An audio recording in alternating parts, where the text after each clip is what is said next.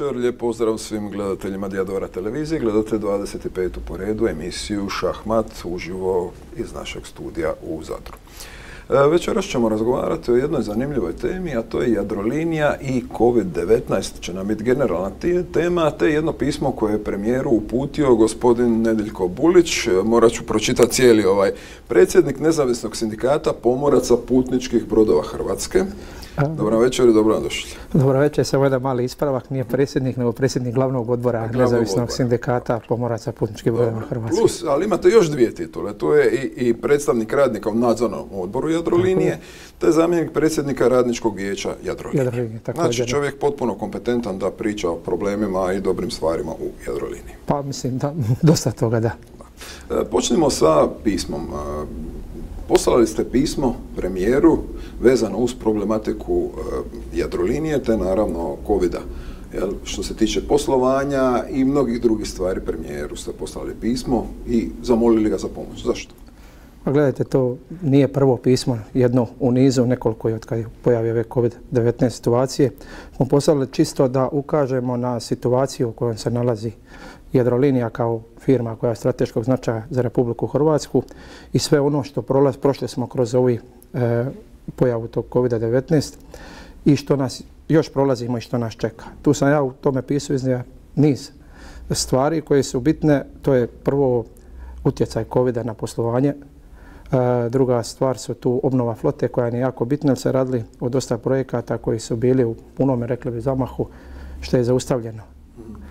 U konačnici e, radi se o problemu da smo 2019. godinu odradili kao jednu od najboljih sezona, što je svima već poznato. Te 2019. godine je donesen i akcijski plan u obnovi flote po kojem se trebalo graditi. U tom akcijskom planu je bilo čak gradnja 12, 12 brodova novi.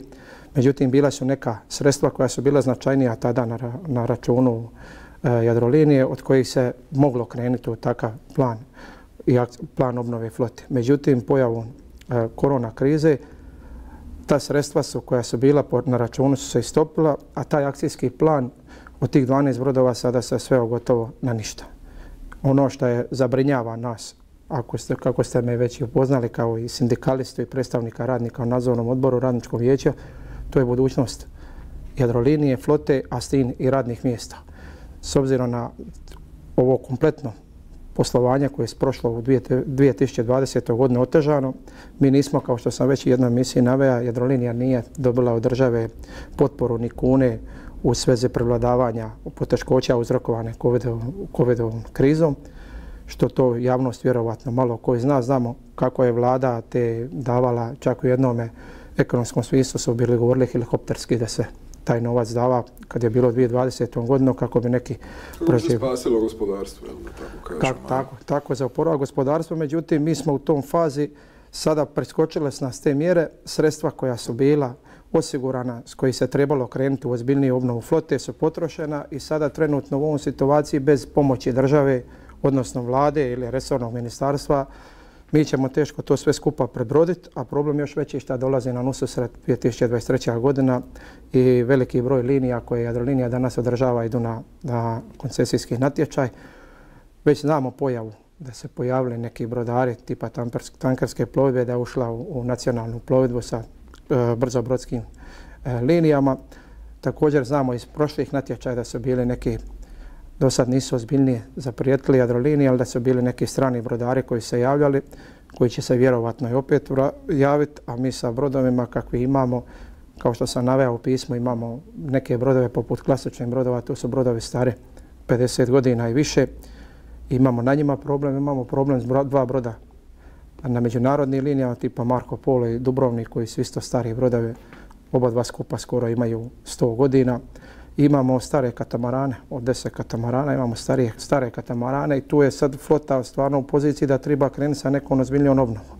Poslije ćemo se vratiti naravno na, plotu, na flotu i na, na ovo pismo. Prvo bih zamolio nekoliko riječi o nezavisnom sindikatu el, pomoraca u, putničkih brodova Hrvatske. Pa, nezavisni sindikat je osnovan 2008. godine. osnovan je iz razloga, ja sam sam osnivač toga, iz toga sindikata, osnovan je iz razloga nezadovoljstva što su radnika pomoraca tadašnjim sindikatima koji su zastupali radnike u Jadroliniji. Radi se sada trenutno, postoje tri su sindikata koja su registrirana u nacionalnom plovidbi u Hrvatskom. Mi smo jedan od najveći od ta tri, čak ima nas, duplo smo veći nego ova druga dva sindikata zajedno.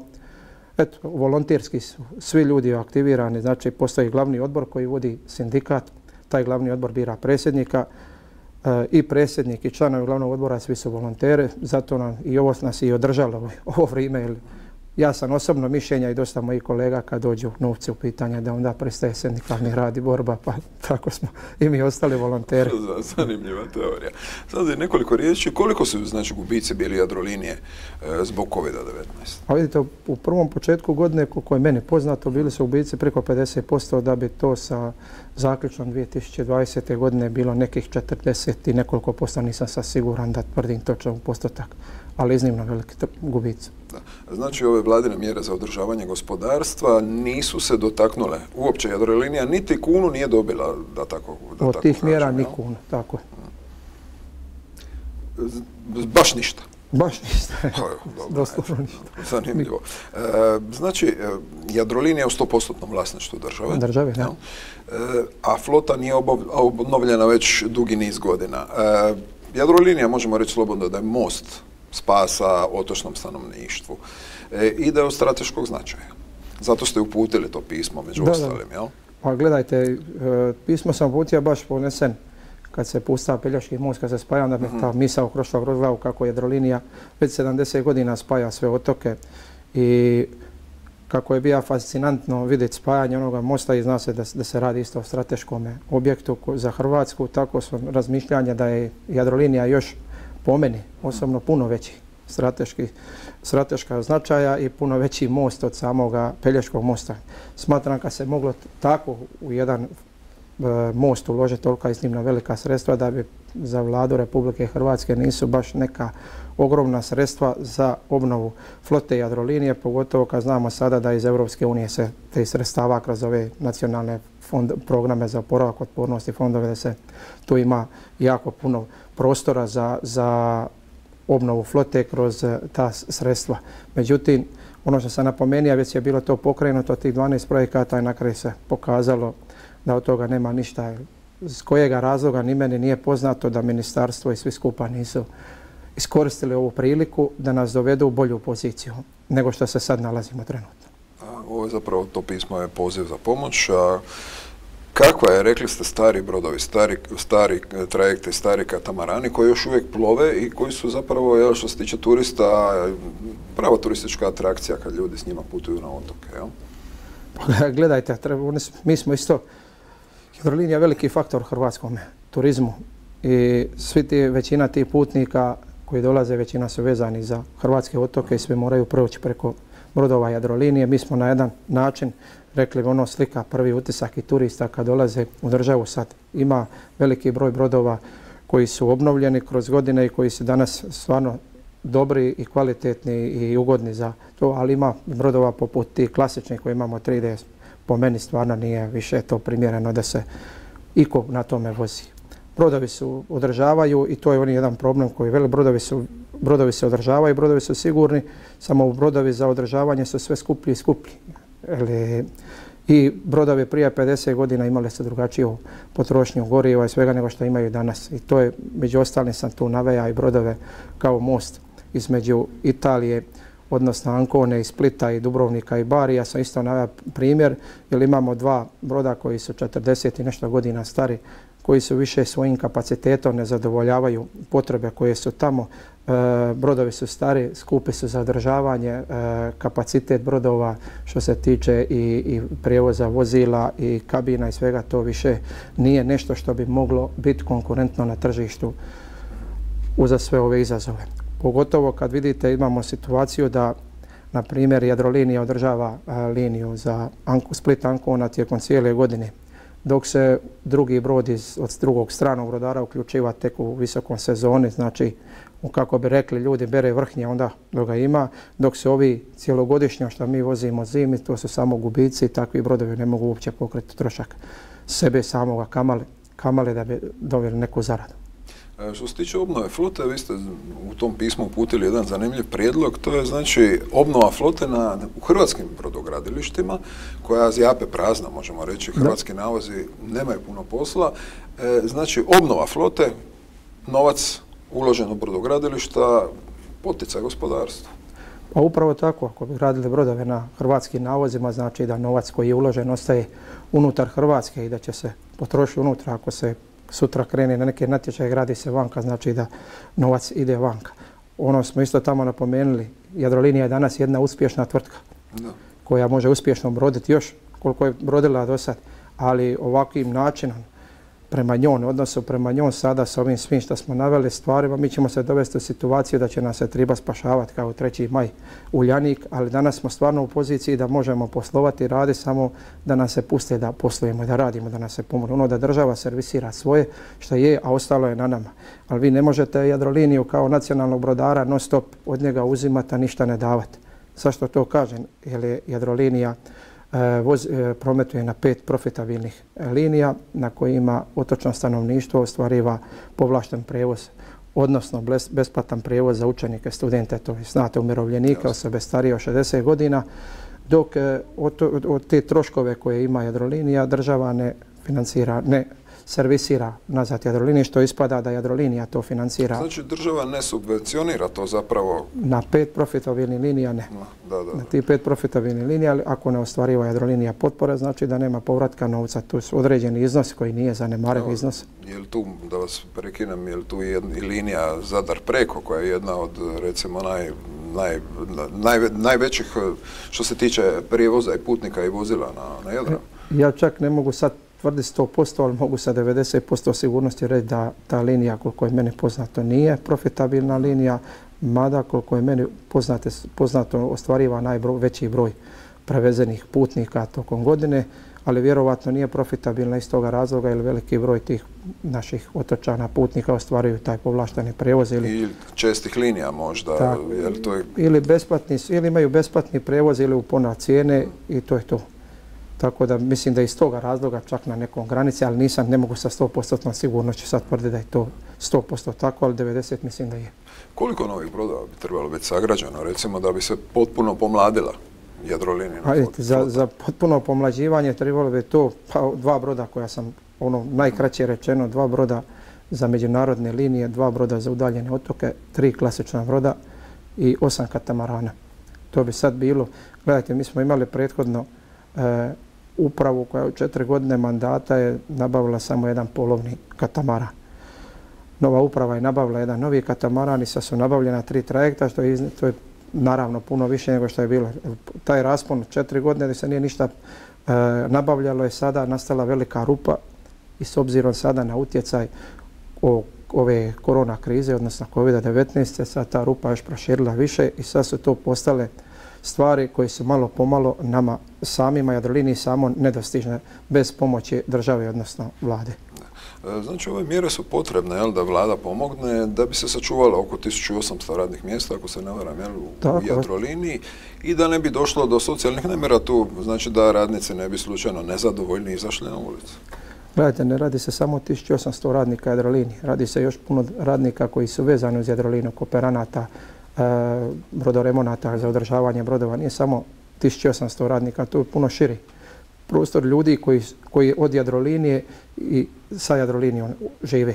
Tako da je problem puno širi. Normalno i mi sami sindikalisti pokušavamo prvo na ove sve načine, s dopisima i sve odraditi to da upozorimo, da skrenemo pažnju na situaciju, na radnike, na Jadroliniju. Ukoliko to ne uspije, normalno ćemo ići ako vidimo da se dođe, dovode u pitanje u pitanje e, jadrolinija, odnosno naše plaće i opstanak, da ćemo poduzeti sve one zakonom određene i moguće e, mjere da bi zaštitili to. Pa i te sve što nam zakon dozvoljava, izlaziti na ulice, demonstracije, štrajkovi, sve, ako bi došlo do toga. Mi molimo Boga i nadamo se da do toga neće doći i da će postojati razumijevanja s druge strane da sve ove poteškoće prevladamo i da krenemo naprijed kako smo i krenuli prije pojave korone krize. Mislim da ne bi bilo ni fair ni u redu da se sad ostavimo sami mi tu da sami se izvlačimo iz nečega, ipak servisiramo državu i sve skupo što je bilo. Ono što se zna, da smo tijekom cijelog onoga lockdowna brodovi s Jadrolinije vozili do duše u smanjenom broju putovanja, ali su vozili i povezivali. Tu su radnici napravili Jadrolinije svoj posao.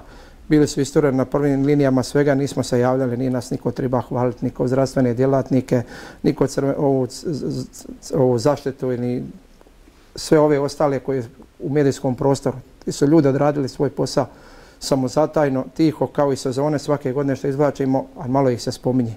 A onda ćemo na kraju kad dođemo dalje još spomenuti se iz plaće pa će da znaju ljudi za kakve plaće i kako ti ljudi rade. Prije nego što govorimo o plaćama, recimo i drugim privatnim brodarima koji postoje na Jadranu, koji su znači uspjeli izvući poticaj nekako Jadrolinija nije.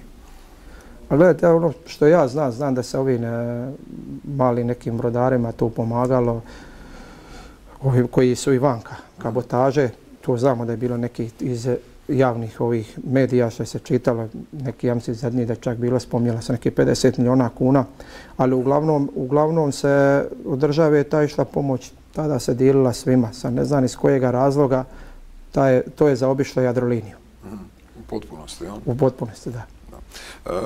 Što se tiče ovih međunarodnih linija, znači tu bi trebalo ubaciti nove brodove zapravo, jel? Koliko su ovi brodovi sada stari? Isto 50 godina ili? Pa tu su negdje 45, 6, 7, 8, tako ne. Preko 45 godina su jedan i drugi otprilike stari i ti brodovi naravno sami po sebi, kao što sam malo prije rekao, nisu više oni e, dostatni sami sebi da bi pokrili trošak i ti sebe, a kamali ostali. Ono što mi tražimo da vlada nam pomogne Sad bi nam trebala vlada kao vlasnik pomoći u nabavci dva novija broda. Sa nabavkom dva novija broda mi bi imali i manje troškove održavanja tih brodova, manju potrošnju goriva, naravno i veći kapacitet, tako da bi mogli te brodove dovesti. Nije u cilju samo dovesti u zaradu, da dođemo na jednu pozitivnu nulu, da mi možemo raditi, ljudi prima plaće i da država može ubirati porez i da sve skupa to funkcionira. Na taj način bi se to moglo. Ako se ovako nastavi, to su brodovi prestari da bi se više moglo na njih nešto u budućnosti puno planirati ili jedino ako vlada ima odluku i naum da te, da tu, te brodove međunarodne ukinu ili se treba krenuti pod hitno u nabavku brodova. Jer ovi brodovi sami se po sebi po trošku, po svemu samo vuču jadroliniju na dno. Sa njima jadrolinija će teško broditi jer su veliki, veliki, puno stari i veliki potrošači. A koliko primjerice više goriva troše nego li moderni brodovi? Pa da sad kažu da se ta potrošnja mora doći do razlike čak od 60%, znači sa novim brodovima moderni čak do 40%, do 60% mogu manje, e, manje ima potrošnju. Nije samo e, stvar u gorivu stvar je u tehničkom održavanju takvih brodova koji su prestari. Teško je više nabavljati dijelove za brodove koji su stari. I, i to što imate više ne možete pregovarati o cijene, nego morate uzeti to što je po cijene koje je svjestan i oni ko prodaje da toga više nema. S, druga stvar je što je mali kapacitet brodova. Jer ti brodovi su nekad za neko vrijeme napravljeni prije 50 godina koji su zadovoljavali te uvjete. Danas to definitivno nije slučaj da zadovoljavaju. Ti brodovi mogu ukrcati nekih 20 do 30 šlepera to je, ne mora pokrenuti trošak goriva što se kaže do Italije nazad, a kamale trošak radne snage, to skupo održavanje brodova i, i ostalo. Kako je situacija recimo u Grčkoj, Italiji, Španjolskoj? Pa vidite, po informacijama koje ja znam i koje svako načuja, nisam istraživao, to čuja se su cijene dosta, dosta, oni, pogotovo u Grčkom, e, jeftinije, odnosno niže za, za, u prevozu u ovome linijskome kao što usporedbi sa nama. A druga stvar, moramo napomenuti da se, evo, koliko je meni poznato, ja već dugo, ja mislim, nekih 12 godina, ako ne više, ako ne i 15 godina, da se cijene karata nisu mijenjale. Ono što ljudi možda ne znaju, Jadrolinija ne određiva sama cijenu, visinu cijene karata, kao ni broj putovanja, to određiva Agencija za obalni linijski promet. Uvijek su uz te cijene karata su se vezivale i povećanje plaća, pa onda zadnjih 12 godina koja je bila neko minorna korekcija e, karata, čini mi se 1% čak. Ali zamislite cijene koje su bile nekad i prije 15 godina i danas da mi vozimo po istom cijeni, mislim, da to dovoljno govori samo o sebi. Plus svi povlašteni prijevozi, što svakako je dobro i razvoj otoka mi podržajemo i, i to je pohvalno za vladu, ali ne da servisiramo mi, radnici Jadrolinije, Jadrolinija i priko plaća od radnika Jadrolinije.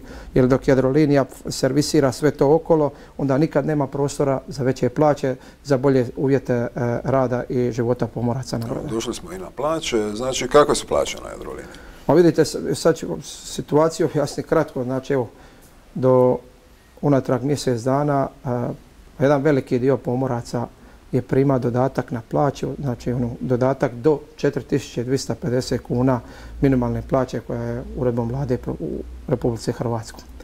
E, to je sad promijenjeno, ima mjesec dana gdje smo baš nezavisni sindikat pomoraca putničkih brodova pokrenija e, pregovore sa ministarstvom, i resornim ministrom i državnim tajnikom i gdje smo uz pomoć državnog tajnika i ministra upravo došli do, do dogovora suglasja da se država je osigurala, odnosno Jadrolinija osigurala 20 milijuna kuna sada za povećanje koeficijenta pomoraca, s tim koje, povećanje koeficijenta ujedno se izjednačija najniži koeficijent sa najnižom plaćom, što je sad to dobro da je postignuto da imamo, bare ti veliki broj ljudi više nisu ispod te minimalne plaće od 4250 kuna, što je sa prošlom plaćom. Povećalo se svima e, vrijednost koeficijenta za 8%. Još mogu samo napomenuti što povećanje plaća, kad spominjemo zadnji put se plaće digle u zadnjih 12 godina dolaskom nove uprave, podignute su plaće za 5%, međutim nama su plaće u tolikom zaostatku da ti 5% ljudi niti ne primijeti. Ono što je bitno možda za napomenuti još da pomorci moraju kao i vojnici, piloti, ovo moraju biti zdravi. Po STCV i međunarodnim ovim konvencijama liječničke preglede moraju prolaziti svako dvije godine koji su sve rigorozniji i rigorozniji i dosta ljudi zna se desi da ne prođu e, drugačije sada ritam i, i života na brodu i sve ubrzano i sve i tako da su te stvari postale sve teže i teže ljudi prolaze, sve teže i teže i teško da će neko doživjeti e, starosti i doći do mirovine radeći na brodu. Sa takvim malim plaćama neće ni osigurati sebe ništa. E, ja sam čist, evo mogu navesti sebe kao primjer pomorac koji sam e, plovija na brodovima Jadrolinije 23 godine počevši od najnižih zvanja pa do vođe palube, neko srednje zvanje, ali sam zbog svoje e, bolesti, teške bolesti, isto izgubija svjedožbu za liječničku svjedožbu za izdavanje pomorske knjižice i zbog toga se, evo, ja sam imao sreću jer poslodavac sukladno zakonu može ponuditi drugo radno mjesto ako ga ima. A ako nema drugo radno mjesto onda idete uz neku ostvarenu, ne znam, otpremninu što ste proveli godine tu staža, u tom smislu nešto dobijete sitno i to je to, odlazite znači, na burzu rada. Prekinut ću uz pomorca koji je, na primjer, obolio srčane, srčane nekakve mane, koji ne može više, kako mi volimo reći ovdje u Dalmaciji, navigati, ili ploviti, broditi. Znači, on može završiti direktno na ulici. Pa gledaj, evo ja se baš, kad ste spomenuli srčanu manu, kada znate, ja imam, e, moj problem se upravo nalazi sa srcem i, i tom teškom srčanom manom i radi toga, i radi toga smo došli, došao sam u tu situaciju da nisam mogao, evo imao sam sreću da sam se snašao i da sam dobio mjesto radno na kraju, što do sad je Drlinija to uspjevala svima ali ne znam kako ćemo u budućnosti to, to ići. A ostala nam minuta do kraja, još možda nekoliko riječi o nacionalnom kolektivnom ugovoru za Hrvatsku Ukratko ću vam samo reći, nacionalni kolektivni ugovor imamo važeći iz 98. godine, sve sam rekao, 23 godine. 23 godine osnov ovih svih problema što smo do sad sam spominja, baš zbog toga. Nikako se ne može naći i dogovoriti oko tih plaća, jer je to plaće što je potrebna sredstva za plaće. Rekli smo, financiraju se druge stvari okolo, nikad nema dovoljno i zato smo 23 godine tu gdje jesmo. Sad smo evo u nekim dogovorima, pregovorima i trebali bi to finalizirati do početka godine, ako uspijemo to će biti veliki Evo, nažalost, zaključimo na kraju, znači koncesije će se raspisivati za, za, sve, za sve linije ovdje na Jadranu, na našoj strani Jadrana. Jadrolinija u ovakvoj situaciji neće biti u povoljnom položaju kad dođu mlade lavove, da tako kažem, nove privatne snage. Pa vidite, sigurno ako ostanemo ovako na ovim brodovima, sve da nećemo biti u poziciji, da ćemo biti tu mi konkurentni i da se tu može očekivati e, svašta. Sve ovisi ko će se javi kako. I s, kakvim sredstvima, s kakvim brodovima? Upravo tako, brod je uvijek najbitniji i ko ima brod, imat će i linije, većinu slučajeva. Tako ako bez brodova nema budućnosti. Brodovi su nama budućnost kao i most u Pelješcu što je napravljeno. Gospodine Buliću, hvala vam lijepa na gostovanju na našoj Diadora televiziji i iznošenju ovih jadrolinijih problema zapravo. Hvala vam lijepa. Hvala vama na pozivu i vašim gledateljima. Dragi gledatelji, vama naravno hvala na pozornosti. Ostanite uz program vaše Diadore televizije. Mi vam želimo ugodnu večer.